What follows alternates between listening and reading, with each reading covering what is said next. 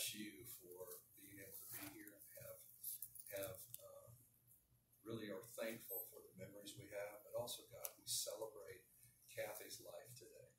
Thank you for everything that's said. We'll give you honor and glory in Jesus' name.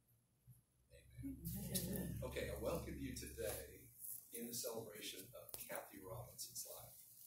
Today we're going to experience some things that were important to Kathy, as well as we're going to hear from some folks that actually Kathy was important to. Um, but we're going to start first of all with with a song that was really very vital in Kathy's life at the outset of cancer.